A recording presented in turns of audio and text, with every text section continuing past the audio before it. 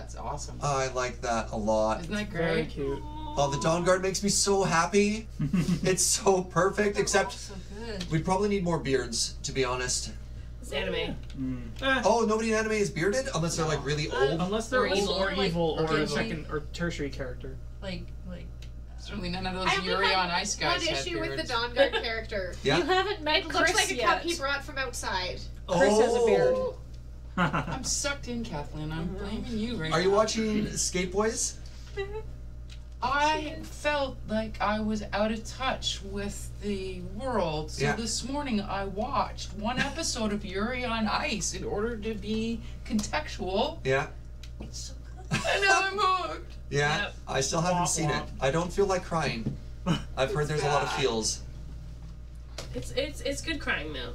Yeah. Is it like ugly? Like I'm so happy. I was laughing so hard I couldn't have made. I just was like, wow. A lot- Amazing. A lot of Couldn't watch animes this when I again. watch, there's like an episode where like, and everyone's happy, and we're all gonna live like we- every, and you're like, oh god, You this just, like, episode everyone's gonna die. Like I know. oh, oh, it's it's the, the fake out. Yeah, always like they're way too happy. But with Yuri, I feel like I feel safe.